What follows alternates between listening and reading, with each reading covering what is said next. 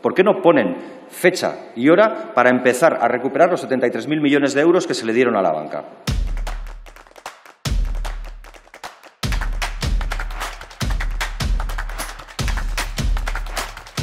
Yo estoy de acuerdo en que este Gobierno no está parado. Lo que hace falta es que camine con la gente, porque puedes caminar con los consejos de administración de los bancos o con la gente.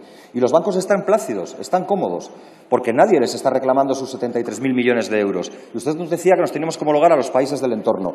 ¿Francia dónde está? ¿En las antípodas del Estado español? Porque parece que está bien cerca de nuestro entorno. En Francia han recuperado el dinero del rescate bancario. ¿Por qué en el Estado español no se lo plantean?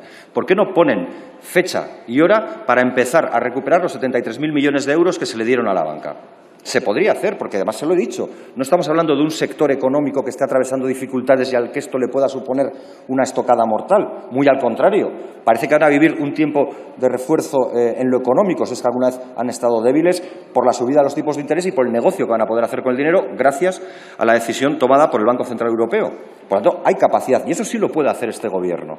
Yo no les reprocho que no ayuden a las familias, yo les reprocho que no hagan más cosas para exigir al sector bancario porque sedes fiscales tienen y, por tanto, algún origen también en el Estado español para que hagan un ejercicio de responsabilidad, ya no de solidaridad o de empatía, que entiendo un Consejo de Administración Bancario esto le puede sonar a peligroso, sino de responsabilidad, porque en el fondo viven de las arcas del Estado y sobradas muestras ya ha dado el Estado de generosidad con ellos.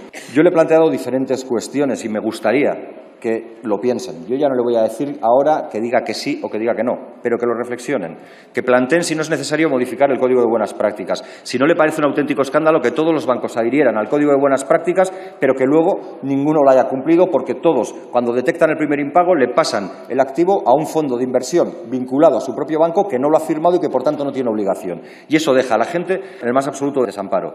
Y esa es la realidad que estamos viviendo y ahí tampoco señala nada es que lo hemos señalado cuando hablábamos del debate energético, cómo a las grandes empresas del oligopolio les sale bien hacer trampas porque la multa es menor que lo que ganan con la trampa. Pues esto mismo es lo que pasa con los bancos, que les sale bien portarse mal, portarse de manera incívica, diría, con los ciudadanos y ciudadanas, porque la multa que van a pagar es ridícula para con el beneficio que obtienen. Y yo creo que eso, a un gobierno que se dice progresista, a un gobierno que dice que quiere la igualdad efectiva y real entre todos los ciudadanos, le debiera preocupar, porque de lo contrario ese propósito, ese anhelo de continuar una legislatura más, igual no se lo trunca nadie en esta Cámara, ni el valor mágico del cambio de voto de ningún diputado de la oposición en no sé qué ley. Es que a lo mejor no se lo permiten los ciudadanos y ciudadanas.